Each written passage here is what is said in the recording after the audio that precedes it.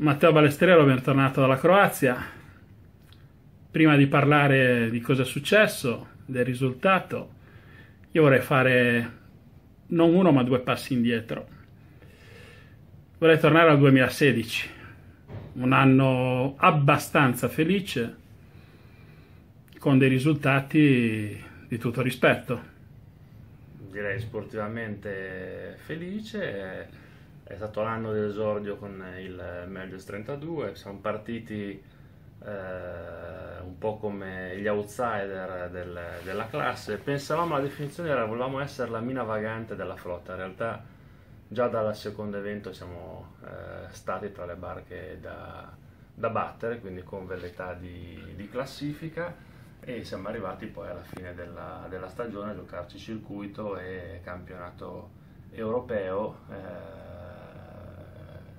devo dire con grande soddisfazione, sebbene per un punto abbiamo perso contro Mascalzone Latino, ma insomma è stato assolutamente straordinario riuscire al primo anno a fare comunque secondi sia nel circuito che al campionato europeo. Bene, 2017, iniziato alla grande. Prima tappa Porto Venere vinta. Vinta, seconda tappa Scarlino vinta. vinto.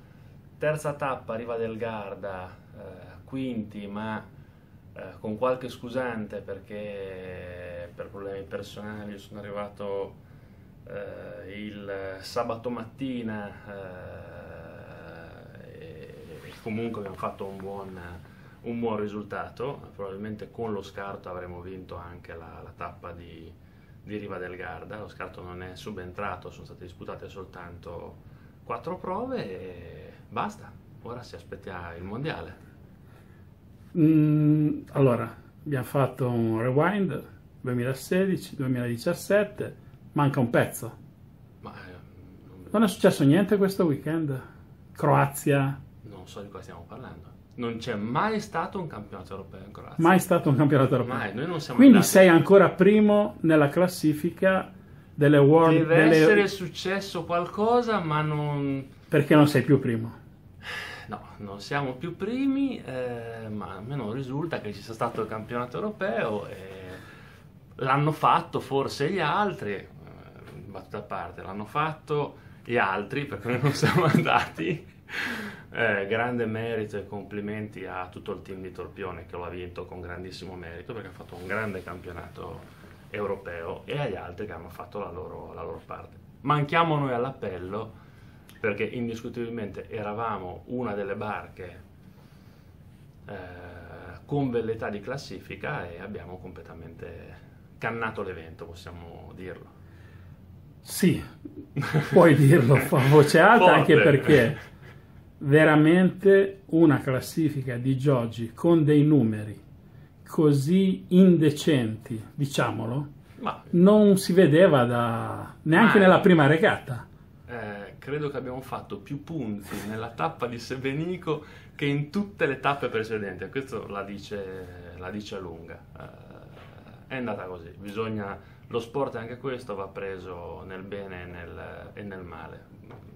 Ci sono i momenti di forma, ci sono momenti di minor forma, momenti in cui si raccoglie magari qualcosa di più di quello che si è seminato, momenti in cui non ne va giusta una neanche per sbaglio credo che l'ultima che abbiamo detto sia abbastanza calzante con, con la tappa di Sebenico. E una domanda cattiva. Ti sei presentato a un campionato europeo con il solito equipaggio, però mettendo sulle vele vecchie. Me la spieghi? Allora, eh, noi abbiamo certamente rispetto alla flotta un budget che è diciamo più a te, più eh, contenuto. Più contenuto. Eh,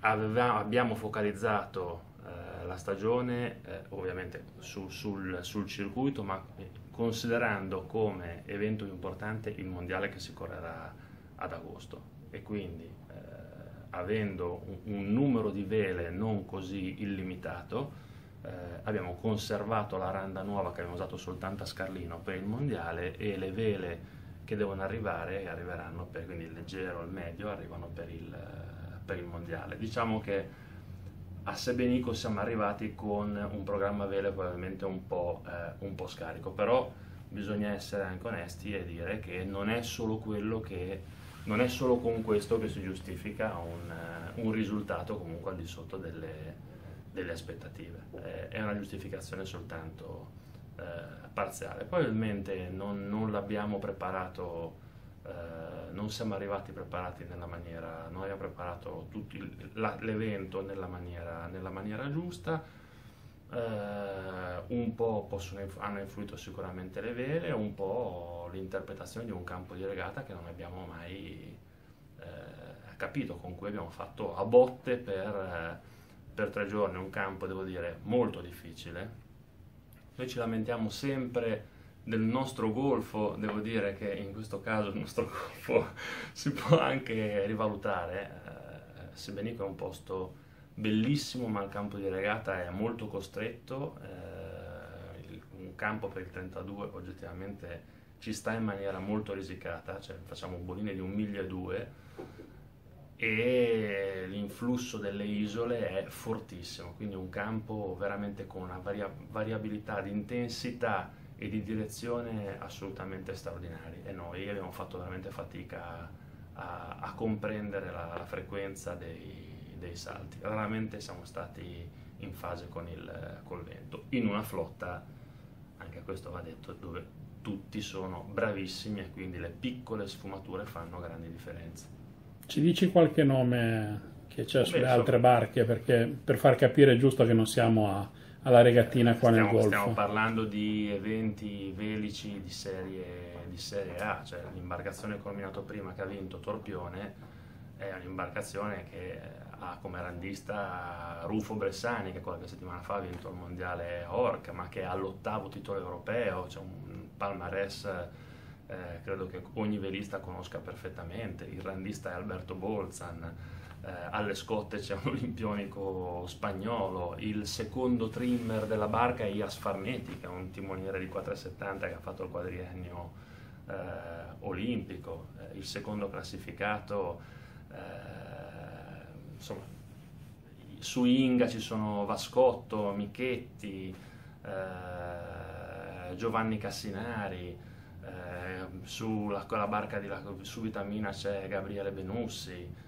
eh, su, la Perico, su Eker, la barca turca, che è una barca che, va, che è regata a metà classifica, c'è come randista Scott Nixon, cioè è un'imbarcazione su cui il livello dei tre professionisti, il gruppo 3, è un livello di velisti eh, che contempla olimpionici e o eh, gente che fa Coppa America, quindi parliamo di, di, di, di Gotta della vela. Gotta della vela di, professionisti veri che non ti permettono, cioè, che non ti permettono nessun errore, cioè il minimo errore viene fatto pagare tantissimo. Resta comunque il fatto che siete veramente in fondo alla classifica in questa tappa. Cioè, errori secondo me ne avete fatti troppi. Si è rotto qualcosa a bordo? No, non si è rotto qualcosa a bordo, abbiamo semplicemente sbagliato la, l'approccio e, e, l'evento e, tra virgolette, questo va preso anche positivamente. Tutto quello che poteva succedere di negativo ci è successo. Faccio,